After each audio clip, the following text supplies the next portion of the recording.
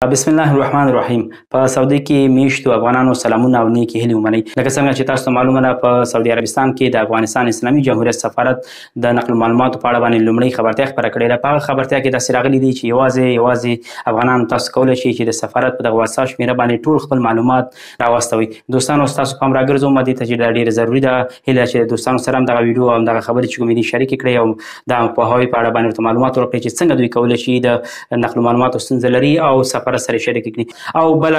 ډیره ضروری ده چې هغه ورونه دوستان چې سفر باندې تللي دي د سعودي عربستان څخه په رخصتۍ تللي دي افغانستان ته هغه هم کولای شي چې د هغه ځای څخه د خپل پاسپورت عکس او همدارنګه د اقامې او همدارنګه خپل ټول معلومات هغه کوم معلومات چې د نقل معلومات په اړه لزان سره لري د خپل پاړه باندې لري باید په دې واتس اپ شمیره باندې ولېږل شي دوستانو تاسو ته معلومه ده چې په سعودي عربستان کې په زرهاو افغانان په همدې ستونزې سره مخ دي همدغه ستونزه لري دوستانو تاسو به لومړی داسې وکړئ چې تاسو به یو سپین کاغذ راواخلئ په سپین کاغذ باندې به ولیکئ چې نوم مې احمد ده د پلانکي ښار څخه مې اړیکه نیولې ده د خپلې اقامې عکس او همدارنګه د پاسپورټ عکس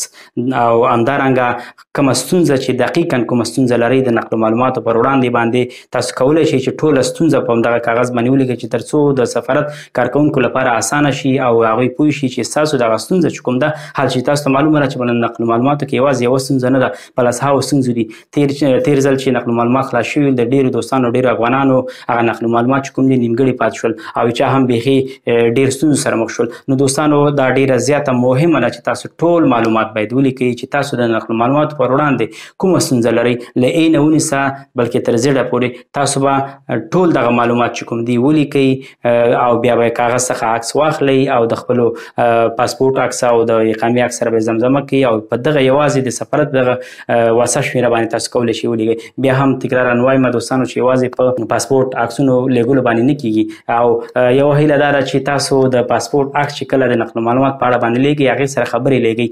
هیله ده چې خبرې ورسره ونه لیږي په دې خاطر باندې چې د زرهاو افغانانو خبرې اوریدل خورا ډیر وخت نیسي دا ستاسو لپاره ښه ده چې تاسو ته د سفارت کارکونکي په ښه وخت او ژر رسیدګي وکړي نو تاسو یوازې وکولی شئ چې ولیکئ تاسو ولیکئ په قلم باندې په کاغذ باندې ولیکئ ټول معلومات بیا هغه څخه عکس واخلئ بیا د خپل پاسپورت او د خپل ټول نور معلوماتو سره سفارت ته ولېږئ په دغه واتساپ شمیره باندې که تاسو خبرې ولېږئ هر یو نفر دوه دوه دقیقې درې دقیقې خبرې ولېږي نو دا په سرهاو نفر دي نو تاسو خپله پوهېږئ چې د سفارت کارکونکي زه فکر کوم